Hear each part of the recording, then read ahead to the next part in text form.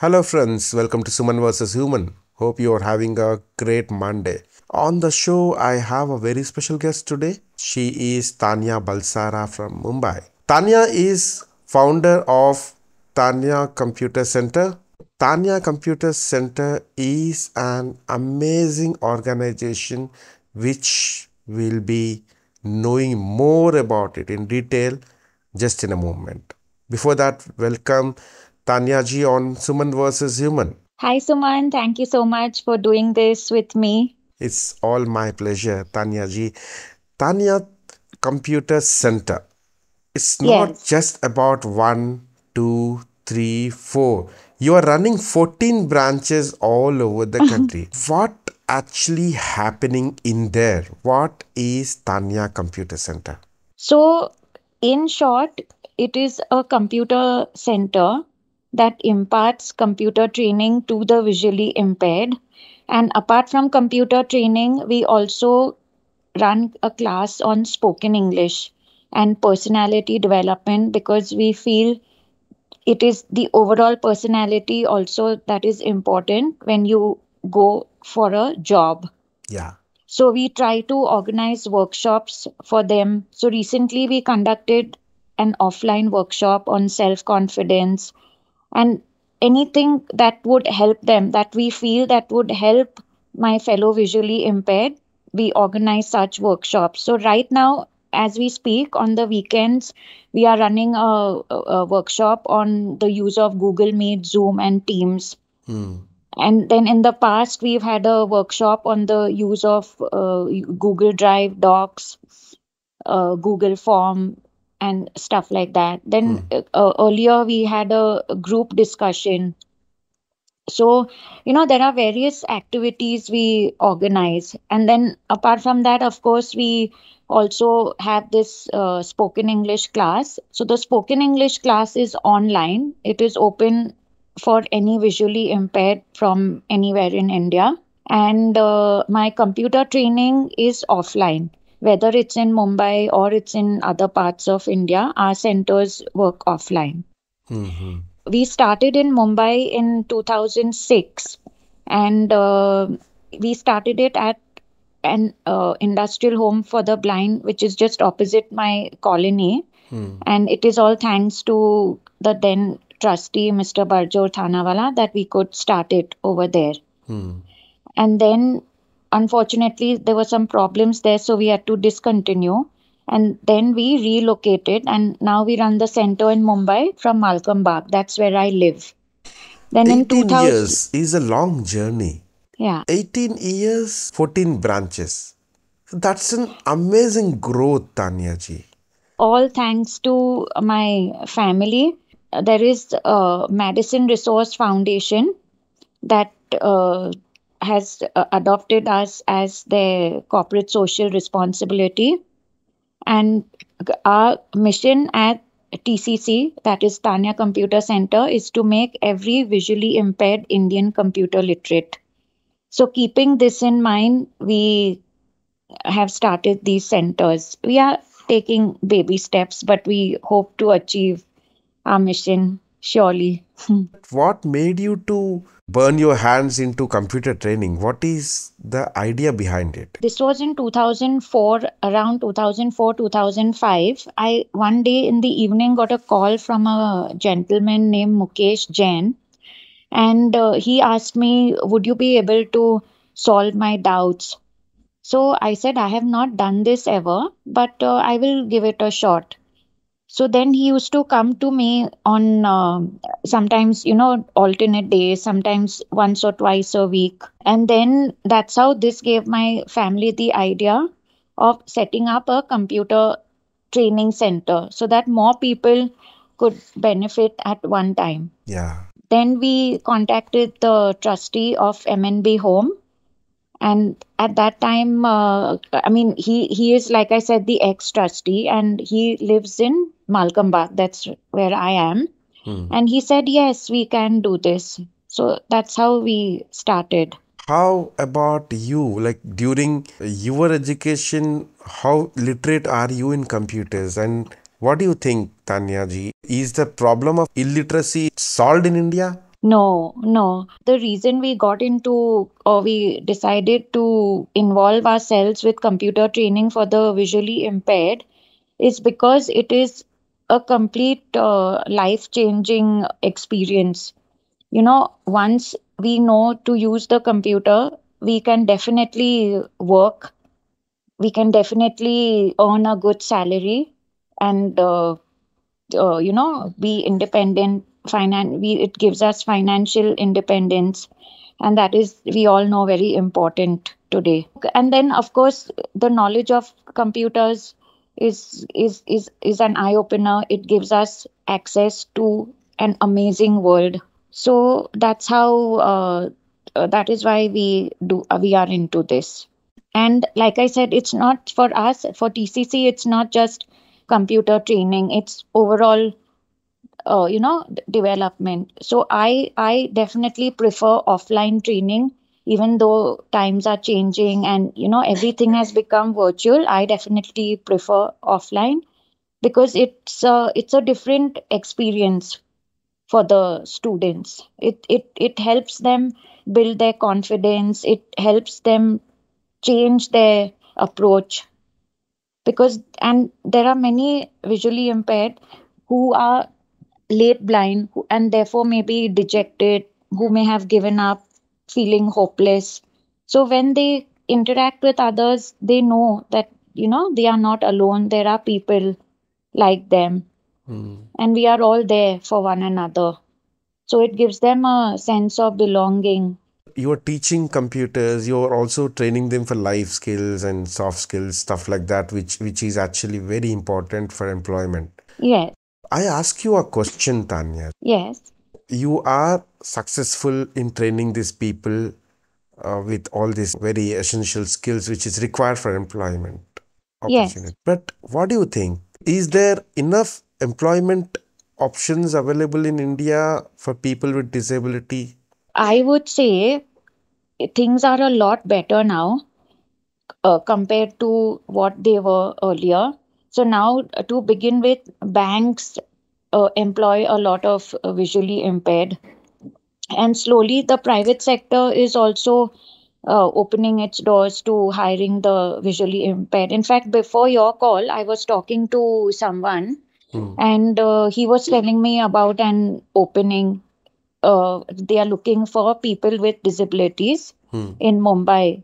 Hmm. So I think it is it it could get better, of course, but it is way better than what it was earlier.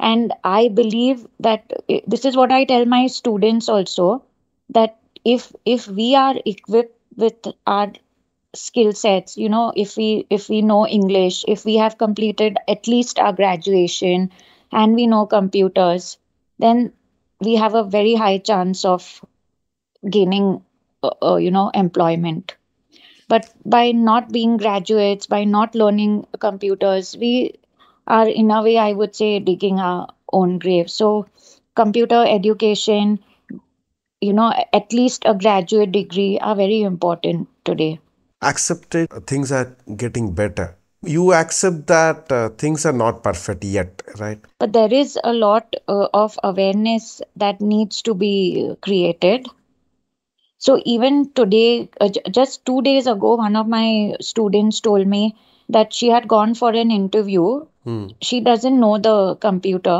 of course. Hmm. So, but she's partially sighted. So she had gone somewhere for an interview, Hmm. and then um, that that person, the, the person who was interviewing her, just you know was so reluctant to hire her because uh, he didn't know what work she would be able to do and also he thought he- it he would she would not perform as well as the as her sighted counterpart hmm, so hmm. then he rejected her Hmm. but then uh, that's not the end of it right i mean Yeah, there is yeah, yeah. rejection in various uh, fields Rejection even uh, sighted is people common for everyone, but rejection the for people everyone with yeah disability, for the purpose of their disability, they reject. That's bad.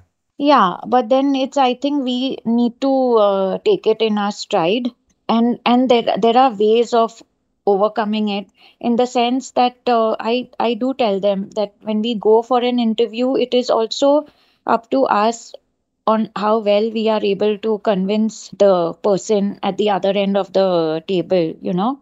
Hmm. Hmm. So, and all this you also learn with uh, practice, you learn over a period of time. So, I am, we are definitely in favor of computer literacy.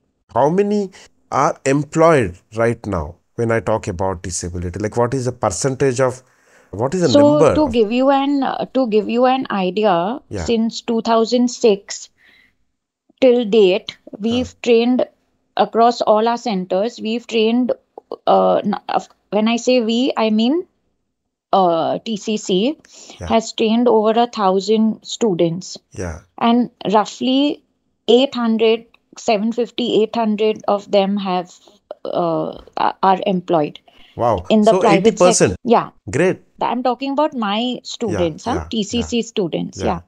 So all of them are not in the, of course, uh, in in the private sector. Most hmm. of them are in the public sector, Hmm. but some of them are also in the private sector. Let's talk about the legislation the government side of it okay? Do you think that government is uh, providing uh, enough employment opportunity for the persons of disability? Or let's also talk about uh, uh, private companies. Are they providing enough job opportunities for people with disability? Or do you think that it should still improve? So I think uh, as far as the public sector goes, they are they are trying hard, and uh, as far as the private sector is concerned, I think it's just a lack of awareness. So we are hoping to have some awareness workshops amongst corporates so that uh, you know they get an idea of what the visually impaired can do. So like I was telling you before your call, this gentleman who I was talking to, Hmm. they are not aware of what people with disabilities can do. So they are going to hire PWDs, but before that, they have created a, a form to get an idea of this, of our skill sets, of our education, and stuff like that, so that they know what kind of work we will be able to do. Correct me if I'm wrong, Tanya ji. Yeah. I heard and I learned that only 5% of the persons of disabilities are employed in this country. I at least feel uh, so you know I am on on a lot of WhatsApp groups Hmm. and of late there are so many vacancies that I'm getting to know about you know o- of late Hmm, like at hmm, least I get to know about one vacancy a week and this hmm. is for people with disabilities whether it's visual impairment or people with locomotor disabilities. So let's Yeah. hope and pray things get better. That's all I can say.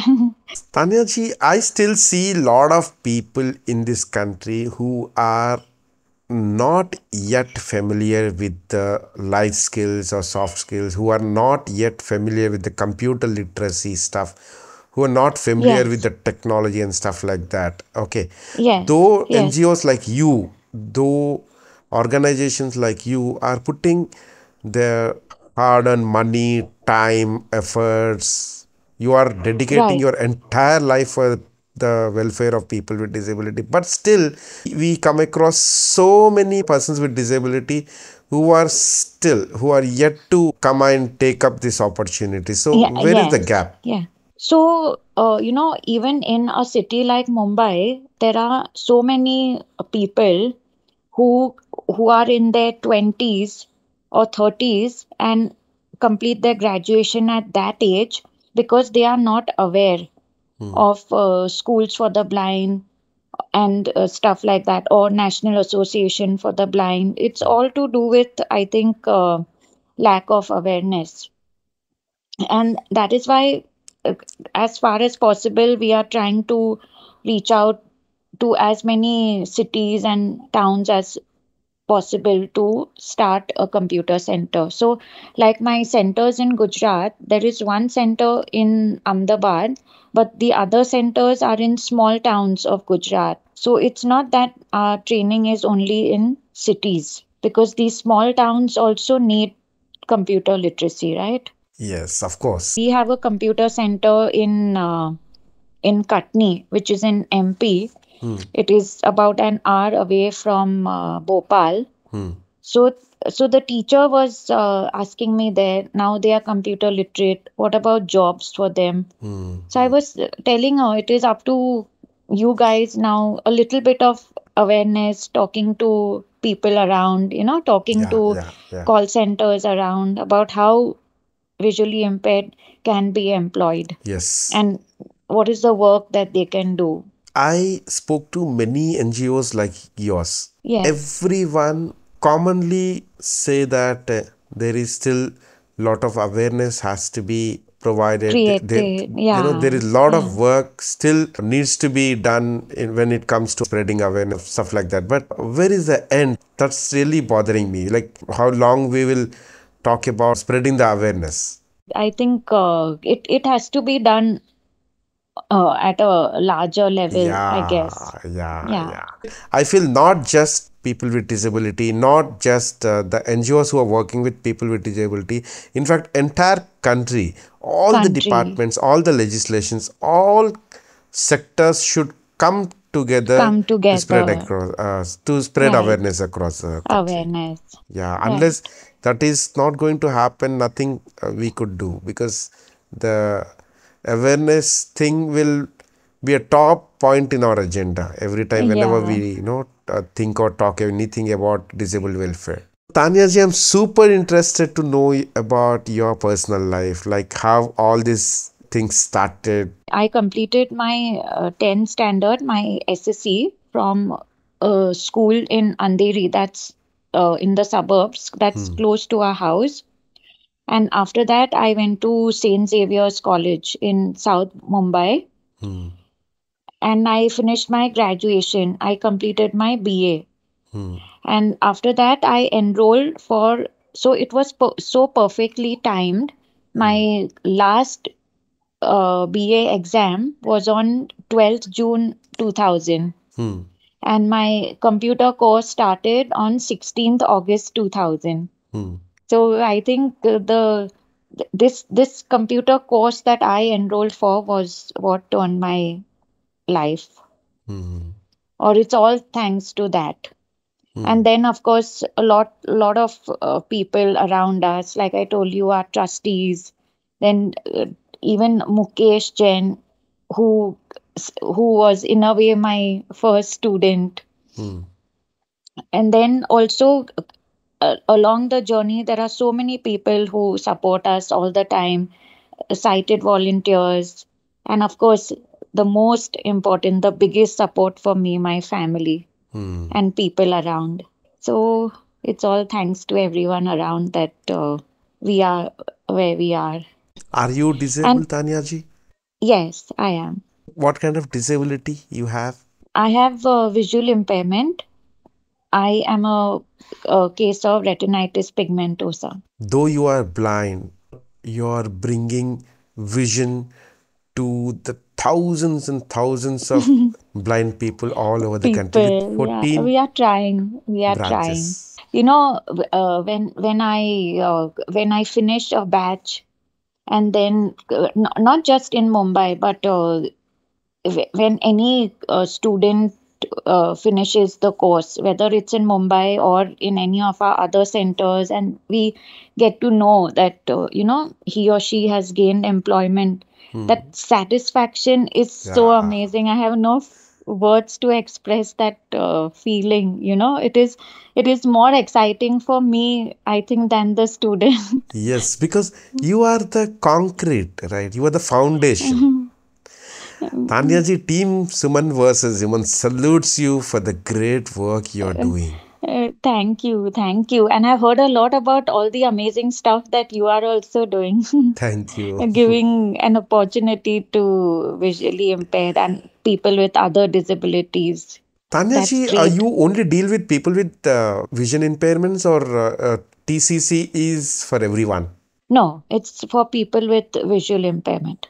Any plans of also bringing in people with other disabilities into TCC? Not at the moment. We haven't really given that a thought. Unfortunately, other kinds of disability is suffering a lot in this country because of scarcity of NGOs. So, uh, you know, as far as computer training goes, uh, you know, uh, people who can see, Hmm. they find it very difficult to use screen readers. Yeah, They prefer using the mouse. yeah, Yeah. So to, so th- therefore, uh, you know, since I am visually impaired, it's easier for me to, or I would say it's easier for a visually impaired to teach another visually impaired yeah, rather than uh, to teach a sighted person yeah, yeah, or a person with other disabilities because that person is able to see right? But yes, yes uh, in in terms of uh, we could definitely think of uh, some other Because activities I'm for so people fascinated with disabilities the kind of presence you have in this country. 14 locations is a big network. Uh, thank you You can thank you benefit so a lot of persons of, with disabilities in this country if you can also accommodate other kinds of disabilities into TCC. disabilities Yeah. we will definitely give that a thought thank you for planting the seed in my mind Tanya ji, now elections are just around the corner in this country. right When we talk about uh, elections or politics, and you know, i'm sorry but i'm not interested i'm not into politics no, no, it's not about core politics, Tanya ji. When we think about politics, no political party will really bothered, you know, about or care about uh, uh, people with disability. We are never a part of their manifesto. Right. What message you would like to give out for whoever coming in future like whoever party is going to take the stand what message you- you would like to give to them regarding people with disability regarding the welfare of people with disability? So I would say not just to them, but I would say to any non-disabled person, I would say that uh, keep an open mind towards people with disabilities. Don't be sympathetic towards us because we don't need sympathy, we need empathy. And also, we are uh, our disability is is not that it's not like sighted people don't have any shortcomings. Everyone has some weakness, everyone has some strengths. So, just because we are visually impaired or just because we are disabled doesn't make us any less than our sighted counterparts, is what I believe. A disabled person needs to be given a chance. You can't just uh, say no to him or her because he's disabled. That is very, very unfair, according to me. Tanya ji, if someone wants to provide any job opportunities for the students who are going through training programs in your organization, like how do they reach you and how, So- how shall they contact you? they could write to me. Uh, my email address is tanya tanya at tanyacomputercentre.com. T-A-N-Y-A at T-A-N-Y-A computer center C-E-N-T-R-E dot com. The details are in the description, listeners, so you can check it out. And of Bye. course, if any Yeah. of your listeners, especially visually impaired, have anything, if they feel they want to reach out to me, I am more than happy to help them. So it's it's you know it's also many people also reach out to us for volunteers for recording notes for reading notes. So whatever possible, we organize. Do these people need to pay you anything to get the No. training?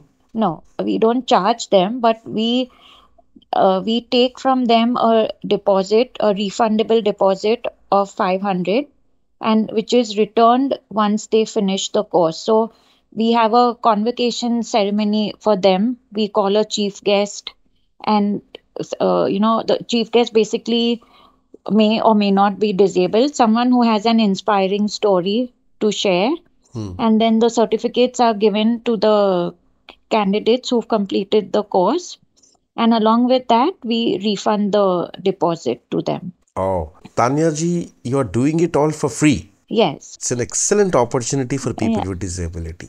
Thank you thank you so much so you are cordially invited to TCC when you are in Mumbai next. Sure, Tanya. And for that love matter, all your listeners. Yes, of course. So, Tanya ji, I have this question for all my guests on Suman versus Human, and here it is. And you don't have any option to say no, you have to answer this. okay. If I give you all the superpowers in your hands, Tanya ji, so Right. what that you are going to do with it, and what change you are going to bring in this country using your superpowers? Mm, uh, if if there is uh, if there is one thing that I could change amongst my fellow VIs would be uh, to uh, make all of them more confident, more positive, and uh, employable. Great. It was awesome And talking to you, Tanya ji. Thank you so thank you so much for giving me this Likewise. opportunity to host you on Suman versus Human. Uh, thank you, and all the very best to you also, and all the very best to all your listeners.